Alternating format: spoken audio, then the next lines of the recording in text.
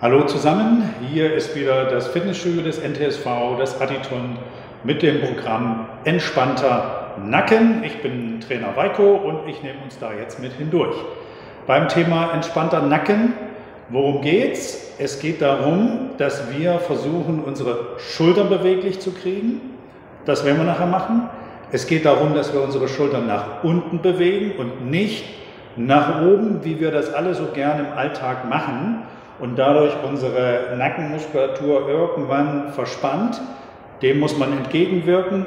Und es geht drittens darum, die Brustwirbelsäule aufzurichten.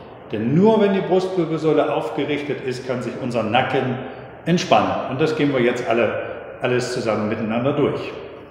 Als erstes fangen wir ganz einfach an, uns der Decke entgegen zu strecken. Also wir stellen uns vor, dass wir mit dem höchsten Punkt des Kopfes der Decke entgegen wachsen, das Kinn dabei ganz leicht Richtung Kehlkopf orientiert haben und jetzt beginnen wir mit den Schultern. Wir ziehen sie rauf und wieder tief runter. Wir ziehen sie rauf und tief runter. Es kommt darauf an, weit nach unten zu arbeiten, nach oben recht locker, aber nach unten weit arbeiten. Noch einmal raufziehen und tief runter. Versucht dabei zu entspannen und einen ganz langen Nacken zu behalten. Ganz wichtig. Nochmal raufziehen und runterschieben. Zweimal mehr. Raufziehen und runterschieben.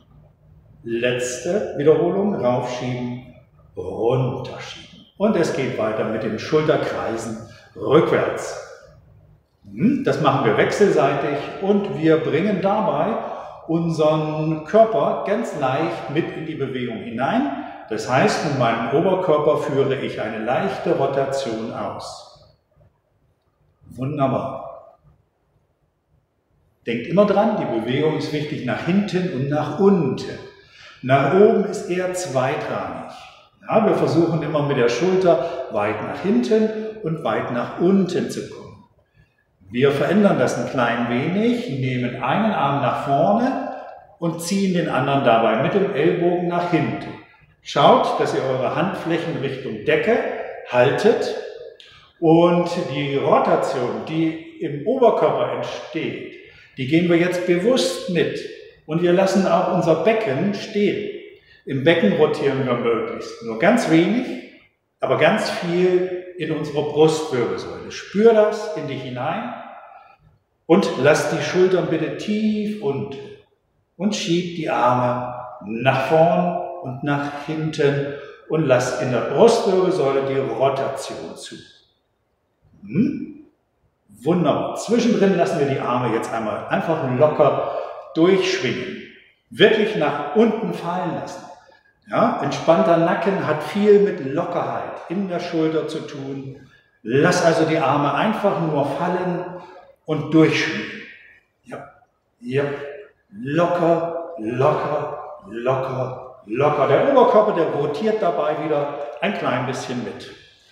Und dann werden wir kleiner mit den Bewegungen, lassen die Arme so langsam hier ausklingen. Weiter geht's mit noch so einer Bewegung.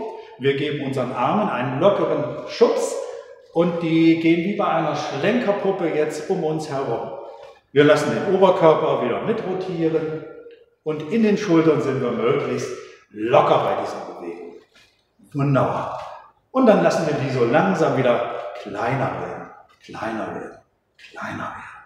Wunderbar. Wir halten an und nehmen die Arme hoch, wenn es geht, bis auf Schulterhöhe wenn ihr Probleme verspürt in den Schultern, nehmt die Arme jetzt etwas tiefer und wir rotieren unsere Arme in der Schulter weit nach hinten und nach vorne.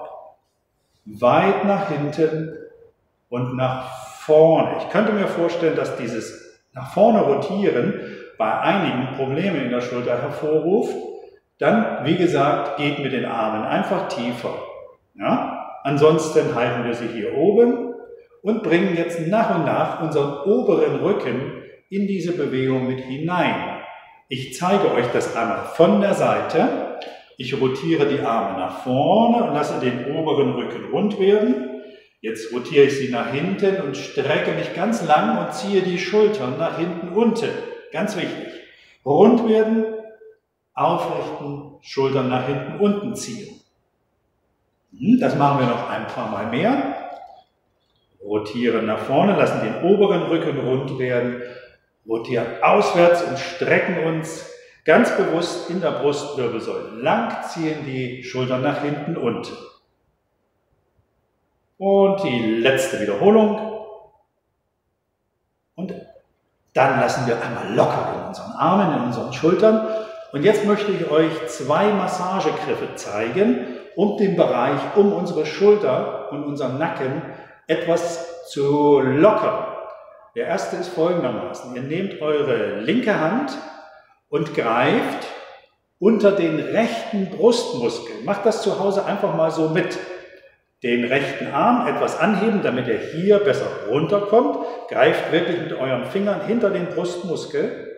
Lasst den Daumen hier vorne drauf und nehmt den Arm jetzt erst einmal locker wieder runter. Und nun beginnt ihr hier vorne mit eurem Daumen einmal den Brustmuskel abzufühlen, abzusuchen. Gibt es da eine Stelle, die hart ist, wenn ihr da jetzt drauf drückt, wo es weh tut. Also ich habe jetzt hier bei mir so eine Stelle gefunden, die ist schon recht unangenehm, wenn ich da drauf drücke. Wenn ihr so eine Stelle bei euch nicht findet, dann massiert einfach mit dem Daumen diesen ganzen Bereich. Ansonsten bleibt mit dem Druck drauf und haltet diesen Druck. Der Muskel soll lernen, locker zu lassen. Die, und hier vorne ist so ein Triggerpunkt, der häufig zu viel Spannung hat und am Ende Nackenprobleme zumindest mit verursacht. Jetzt lassen wir einfach nach, nehmen den Arm runter, lockern den rechten noch einmal ein bisschen durch und spüren, wie angenehm das jetzt ist. Und dann wechseln wir natürlich die Seite. Wir heben unseren linken Arm etwas an, greifen mit der rechten Hand unter unseren Brustmuskel, nehmen den Arm wieder entspannt runter und suchen hier vorne den Bereich des Brustmuskels wieder ab, ob wir da eine Stelle finden, die besonders reagiert, die auch etwas wehtut. Und da bleiben wir jetzt mit unserem Daumen drauf und geben so viel Druck, wie wir können, wie wir gerade noch so aushalten können, ohne dass wir verkrampfen. Die Schulter ist locker dabei und diesen Druck Halten wir noch etwas länger. Halten, halten, halten. Und dann lassen wir einmal locker. Geben dem Arm wieder ein kleines bisschen Lockerung. Und kommen zu einem zweiten, sehr wichtigen Punkt. Bitte greift mit eurer linken Hand auf eure rechte Nackenseite und tastet euch mit den Fingerkuppen einmal hier an der Seite entlang und sucht euch den Punkt, den höchsten Punkt heraus, bevor äh, die Halswirbelsäule anfängt. Und jetzt drückt bitte einmal senkrecht von oben drauf. Und jetzt spürt ihr schon, äh, wo dieser Punkt ist, der bei fast allen von uns zu viel Spannung hat. Das ist der Schulterblattheber. Ja, und diesen Druck halten wir ein wenig noch auf diesen Muskel, drückt ruhig so doll drauf, wie ihr könnt. Es darf ruhig auch unangenehm sein. Wir versuchen diesen Druck wieder so bei 45 Sekunden zu halten. Draufdrücken, draufdrücken. Ich weiß, unsere Finger werden so langsam müde, macht aber nichts. Wir schaffen das noch ein bisschen. Noch 10 Sekunden halten wir. Komm, Druck machen von oben drauf. Lasst dabei die Schulter locker. Noch 5. Hm. Und dann lösen wir das. Geben unserer rechten Schulter wieder ein bisschen Lockerung. Mhm. Wechseln die Seite. Mit der rechten Hand suchen wir uns auf unserer linken Schulter Nackenpartie diesen Punkt, den höchsten, spürt einfach mit euren Fingern, wo ist es verspannt und dort beginnen wir den Druck. Wir drücken wieder senkrecht von oben hinein in diesen Muskel ich weiß nicht, wie es bei euch zu Hause ist, also ich spüre das schon ganz deutlich. Der Schulterblattheber, der hat ein bisschen zu viel Spannung bei mir auch. Ich nehme an, bei vielen von euch zu Hause auch. Da halten wir den Druck noch eine Weile aufrecht. Wir wissen mittlerweile in der Sportwissenschaft, dass unsere Muskeln einen eingebauten ja, Mechanismus haben, wenn man sie 45 Sekunden dehnt oder mit Druck versorgt, dann fangen sie an locker zu lassen. Das soll dieser verspannte Muskel jetzt lernen und dann lösen wir den Druck, lassen wieder kurz locker. Natürlich hilft das nicht, wenn man das nur ein einziges Mal macht. Ihr könnt das jetzt jeden Tag zu Hause weitermachen. Weiter geht's mit einer kleinen Kräftigungsübung. Winkelt euren rechten Arm bitte 90 Grad an, 90 Grad hier im äh, Ellbogengelenk. Lasst die Hand ausgestreckt und jetzt greift einmal mit eurer linken Hand zum rechten Handgelenk und haltet das Handgelenk hier fest. Und jetzt drückt ihr mit eurem rechten Arm nach außen, als wolltet ihr den Arm in diese Richtung bewegen. Die linke Hand hält den Arm dabei fest. Die Schultern sind tief, das Brustbein angehoben, der Nacken ist lang und ihr haltet diesen Druck. Noch ein bisschen. Wir verstärken den Druck noch ein wenig, ja, so dass es gerade noch gut geht, dass unsere Muskeln nicht zittern. Halten noch 10 Sekunden. Halten, halten, halten. Hm. Und lösen lassen locker Wunderbar, wir wechseln natürlich die Seite, winkeln unseren linken Arm an, auch wieder 90 Grad Winkel, greifen mit der rechten Hand um das linke Handgelenk. Wir richten uns auf, ziehen die Schultern tief und beginnen diesen Gegendruck. Mit der linken Hand drücken wir nach außen. Wunderbar. So, achtet wieder darauf, dass euer Nacken gestreckt bleibt dass ihr das Brustbein anhebt, ganz stolz, wunderbar. Wir verstärken den Gegendruck ein wenig und halten das Ganze noch 10 Sekunden. Übrigens, wir lassen die Atmung natürlich gleichmäßig fließen. Und dann lösen wir das. Lassen einmal locker. Mhm. Zu Hause nehmt ihr nachher jede Seite noch einmal dran. Ich denke, fürs Kennenlernen reicht das. Und jetzt nehmen wir uns noch eine Übung vor, zu der wir gleich an die Wand gehen. Ihr sucht euch zu Hause schon mal ein Stückchen freie Wand. Eine Tür geht auch, wo wir eine Übung für die Halswirbelsäule machen, die ungeheuer wichtig ist. Wir gehen dazu an die Wand. Und zwar gehen wir mit den Füßen so eine halbe bis eine Fußlänge von der Wand weg und beugen die Knie ganz leicht und äh, arbeiten jetzt zunächst einmal mit unserem Becken. Wir spannen den Po an, wir richten das Becken auf, dass wir hier unten mit der Lendenwirbelsäule fest an die Wand rankommen. Wenn ihr das jetzt nicht so hundertprozentig schafft, ist das auch in Ordnung? Macht ihr das so weit, wie es bei euch geht? Jetzt kommt das Entscheidende.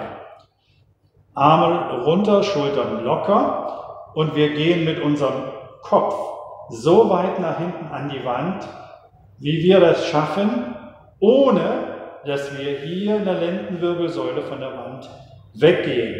Dann schieben wir das Kinn etwas nach vorne und ziehen wieder heran. Das Ganze darf nicht so aussehen, dass ihr nach oben schaut, dann erreichen wir im Nacken genau das Gegenteil von dem, was wir wollen.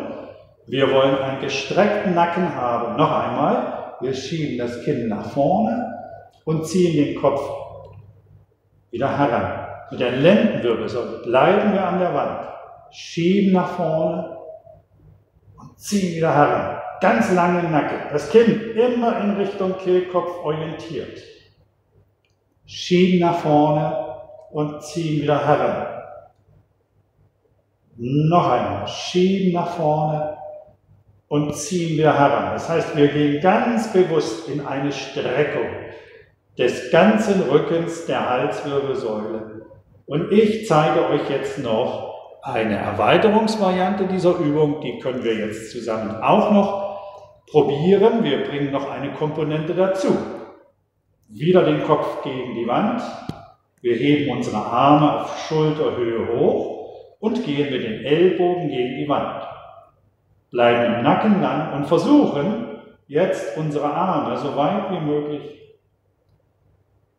nach oben zu klappen, sind immer noch im Nacken lang und wir sind mit der Lendenwirbelsäule immer noch an der Wand dran. Und dann lösen wir das einmal wieder, nehmen die Arme herunter.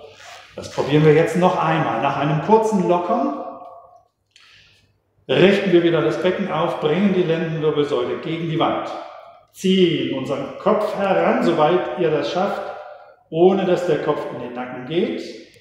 Wir nehmen unsere Arme hoch, Ellbogen etwa Schulterhöhe und klappen die Arme. Soweit wir das schaffen nach oben, hm, das ist schwierig. Wir versuchen mit der Lendenwirbelsäule nicht von der Wand wegzukommen. Und dann lösen wir das wieder auf, nehmen die Arme herunter. Das könnt ihr jetzt zu Hause gerne noch drei, vier Mal mehr machen. Ich hoffe, euch hat es gefallen und wir verabschieden uns vom Programm Entspannter Nacken.